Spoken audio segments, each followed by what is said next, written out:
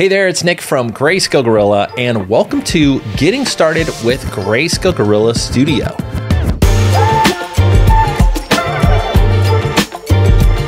Greyscalegorilla Studio makes it even easier to use the Greyscalegorilla library by putting it right on your desktop and making it more compatible wherever you do 3D, including Cinema 4D, Houdini, Unreal Engine, and Blender. So let's just jump right on in and let me show you how Studio works, how to get up and running with it. And if you're not a Plus member, download the free version and you can follow along as well. Now, I'll be using the Windows version here, but we also have a Mac version if you need it. Once you have it installed, you can sign in using your Greyscalegorilla login. And for you Plus members, you'll have access to the entire library. And we also have a free account, so you could sign in using a free Greyscalegorilla account and get some of the basic assets inside. Let's go ahead and sign on in.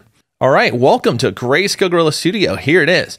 The default page is going to be this new page where you see all the new stuff that's inside of Plus. And we're always dropping new stuff all the time. If this is your first time using Greyscalegorilla Studio, it may have popped open this settings dialog and asked you where you want to put all of your assets you're going to want to make sure that you're using a brand new folder for this. If you've been a Plus member in the past and have downloaded stuff using the Greyscalegorilla Hub, those materials are not compatible with Greyscalegorilla Studio. All right, next you can select your 3D application, including Cinema 4D, Blender, Houdini, and Unreal Engine. We're going to be using Cinema 4D today, so I'll leave that selected. All right, let's talk about the last couple settings, including renderer automatic. You're gonna wanna mostly leave this alone. Greyscalegorilla Studio and the connector plugins that we'll talk about in just a second are super smart in making sure that any of the assets that you send to any of those 3D apps are compatible with the renderer that you're using. So for the most part, you can just leave this alone and leave it on automatic. And finally, make sure you download and install the connector plugin for any 3D apps that you're using with Studio. You can click here to get the latest plugins for Cinema 4D, Blender, Houdini, and Unreal Engine.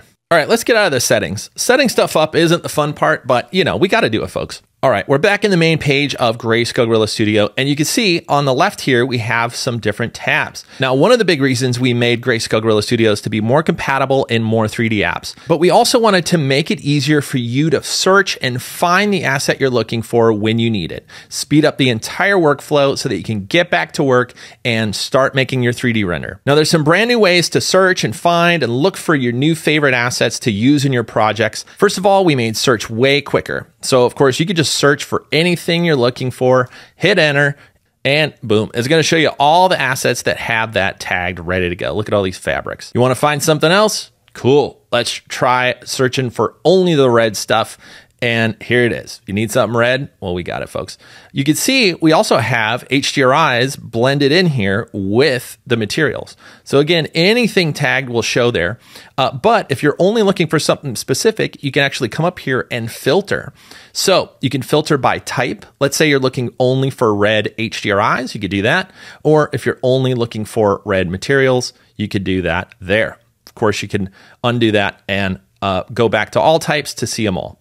You can also sort by newest or alphabetical. Another thing new inside of Greyscalegorilla Studio is the ability to add favorites. So if you're ever scrolling and you see something that maybe you want to use later or for this project, you can just click the little heart icon right here and it'll show up in your favorites tab.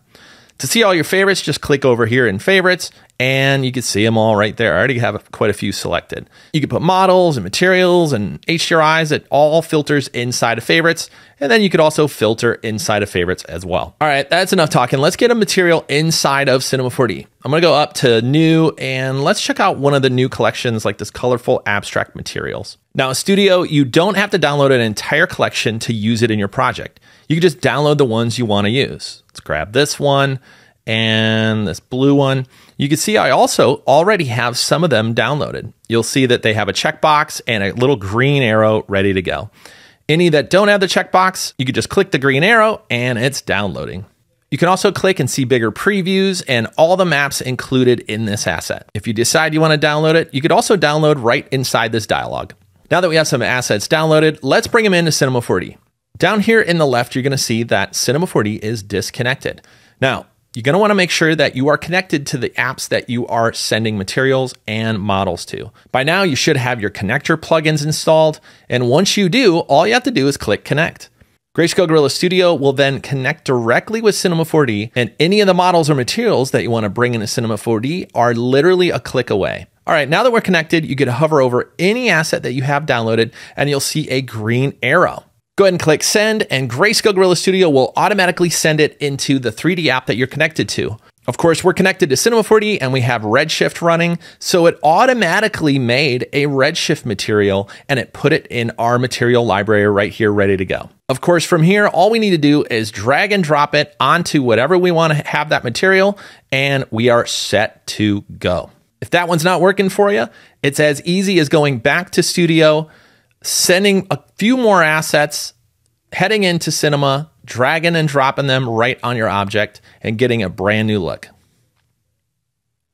Ooh, I like that one. Now, this new workflow is also set up to use the new node system. So if you ever want to customize your materials, you're now in the new system ready to go. And this is true no matter what 3D app you're using. We wanted to make it extra easy to customize these materials to your heart's content. Just open up the material and dig in. You can even see that many of our materials have displacement turned on and ready to go, which means you get even more realistic materials. Now this one has displacement, but it's not made to look super realistic. So let's go ahead into my favorites and grab something with displacement that might look a little bit more real. So here's the clay rough material. I'm gonna go ahead and send that in. It is in and I'm going to drag and drop. It's super fast to use.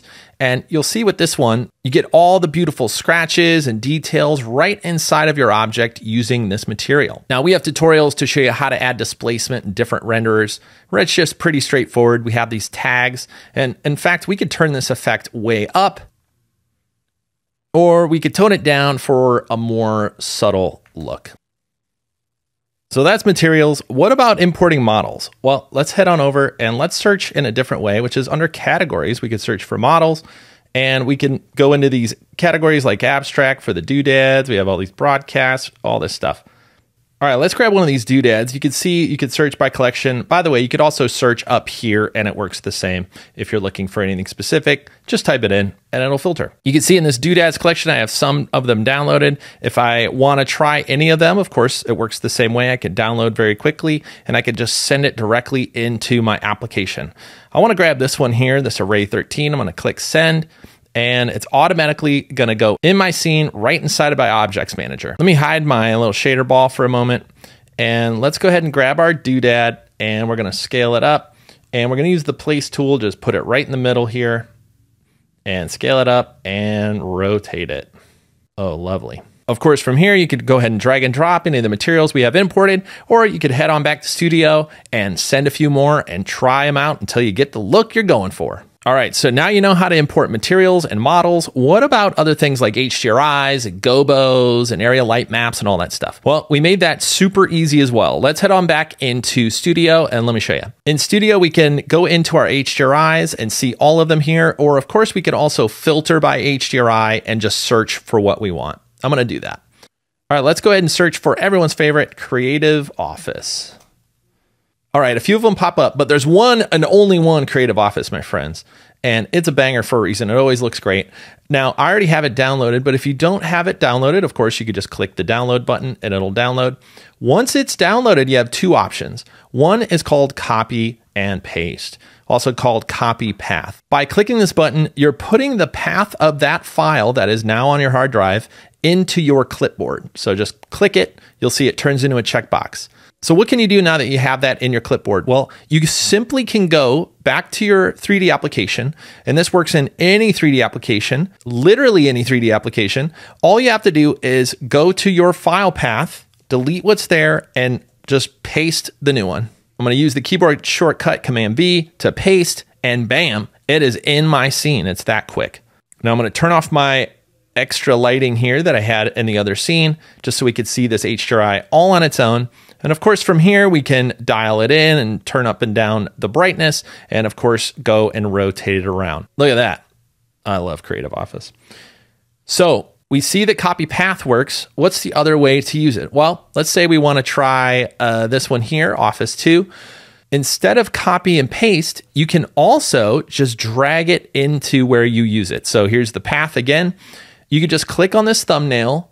Let's go ahead and click and drag and now you'll see a little Greyscalegorilla logo where your cursor is. I still have my uh, button clicked. And all you have to do is put your mouse over where you want it and let go.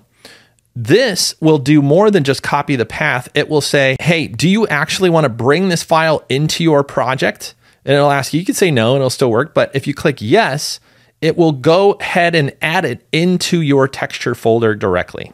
You also saw that it said it couldn't copy the texture. That's just because this is already in this project. Either way, just know that you could drag and drop or copy path and it works the same way super fast in any application. Of course, I can't let this go without rotating it because it didn't look great all the way behind. So let's set the light off to the right on this one. Oh, baby, there we go. This workflow also works for bokeh and textures and also even gobos. Let me show you gobos. I'm going to go ahead and turn on our gobo lighting. And the default gobo lighting here in the scene file just has these stripes. But what if we want to change it? Well, let's go into our gobo light and go to object. And wherever you're using gobos, you'll see a texture path. And this is again where all you have to do is go to studio. And in this case, we could just type in gobo. Now it says no results, and that's because we're filtering by HDRIs. We just simply go back to all types and see everything. Here we got all of our abstract and windows and caustics and all these awesome gobos. Which one do we want? Let's go ahead and grab one of these windows. Uh, let's go ahead and download a fresh one. And we could do it either way. We could drag and drop. Let's go ahead and do that. Let go. Do you want to put it in your search path? Yes. And it will automatically update right here inside of your scene file. And it's that fast. You want to demo another one? Come on over here. Let's do another one. Drag, drop. Yes. Could not copy texture. It's already in the path. It will update anyway. Boom. A little bright on that one, but that's okay. Let's try one more like these dappled caustics here. And I'm going to go ahead and drag this in. It'll ask if it's part of the project. Say yes. And bam. Let's go ahead and uh, move our cone angle down a little bit. Get all this nice dappled lighting looking good. All right, now finally, I wanna show you how easy it is to use surface imperfections inside of Greyscalegorilla Studio. Now, again, this works in any 3D application, the drag and drop just works, uh, but I'm gonna be doing this here in Redshift. So I have a new Redshift material, and uh, first thing is first here, folks, we gotta make this thing a little bit reddish orange. All right, that looks pretty good.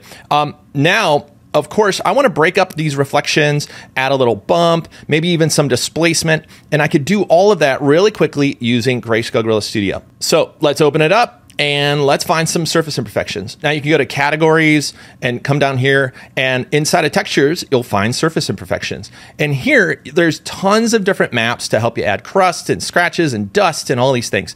I'm going to use it to make a little bit of like grungy uh, material. So I'm just going to type in grunge, and there's a ton of these. Um, let's find one like this kind of scale. So I'm clicking on it to see a larger preview. And this one has all these nice little handprints and thumbprints and stuff in it. I love this one. So from here, all we need to do is drag and drop it into our little node area and it will ask us, hey, do you want it to be in the path of the uh, scene file? Or if we hit no, it'll just stay in the uh, Greyscalegorilla Studio library and it'll do it from there. So whatever way you want to work, you either say yes and it'll go into your scene, or if you say no, it'll just stay where it is uh, inside of Studio. Either way, it is now a material as a node just by dragging and dropping, which means we could really quickly just pump this into roughness and you'll be able to see it really quickly here in the preview. So now we have all these nice little smudges and thumbprints and uh, you could even scale it right from here. I'm going to say uh, 0.6, 0.6, just to make those uh, marks a little bit larger. Now, we can also add this grunge to a bump map. So I'll just come up here, hit C, and type in bump. And what I'm looking for is a bump map. I would just drag it out of there. And now I could take this same map, plug it into bump map, and then plug it into bump map. And you can see it takes that same grunge material and adds a ton of bump to it. Uh, now that's way too much. So I'm going to come in here to height scale and knock it down quite a lot. I'm going to go to uh, 0.1 and that looks really nice. A little bit more might show up better on camera. Um, yeah, that's looking pretty good. I'm going to split the difference. 0.15. All right, so there's bump and uh, roughness. Of course, you could put ramps in here to dial this up and down, but we have other tutorials on that. All right, now let's add some displacement. So first thing we need is the displacement node. I'm just gonna type displacement and drag it out. And of course, now we need a surface imperfection to tell the material how to displace. And again, we have longer tutorials on this, but I wanted to show you the quick setup. Uh, let's go find one of those patterns and and kind of punch it into this material. So let's go back to Greyscalegorilla Studio and you'll see right here we have patterns. And in fact, if you ever want to see a full collection, all you have to do is open up any material anywhere inside the library and you'll see what collection it is related to. So if you're like, wow, I want to see more of those, you can just click on right there, patterns, MSMC, and it'll take you to that collection and show you all of the materials or all of the HDRIs that are in the same collection. So here are the patterns. I use these all the time. Um, and they are these awesome retro looking patterns and you could just again just drag and drop any of them in uh, once you have them downloaded and it'll ask you if you want it in the search path i'll say no this time just leave it where it is and i'm going to pump this into a displacement and then i'm going to pump it into the output under displacement, and it will automatically add displacement to our um, material. Now you can see it took the shapes and it punched it out into um, uh, into space. I want the opposite. So I'm actually going to come into our displacement node here and just set the scale to negative one. And now it'll punch in and make little holes wherever uh, the, the pattern is showing. And again, we can scale this down and make something a little bit smaller just by going in here and saying, okay, let's say two, make a smaller pattern, and you'll see it right away in the viewport. Beautiful. We could even take this and pump it into our color channel. And now this will drive our color channel. Of course, by default, it's black and white. But if we want to grab a ramp, we could just drag it right on the node to kind of interrupt that signal and say, no, I don't want black and white. I actually want uh, this orange that we had on the main side of things. And uh, we can make the other one black or we can make the other one a different color, however we want to do it. And just like that, we have a customized material that we have control over that have infinite amount of options because you could drag any of those surface imperfections inside of here and add them directly into your material. And by the way, a little secret tip, if you like one of the bump or displacement patterns from any of our other materials, you can just open those up, go find where the bump map is. You could just copy and paste it into your material and get exactly that bump in any material that you're working on. Mixing and matching gives you millions, maybe billions, let's do the math, of options when it comes to customizing your materials. Thanks again for watching, everybody. And if you have a question about Greyscalegorilla Studio that I didn't answer, throw it down in the comments. I read every comment and I'll make sure to answer it. We are just getting started with Studio and we're constantly adding new stuff. Thanks again for watching, everybody. And as always, I'll see you in the next video. Have a good one. Bye, everybody.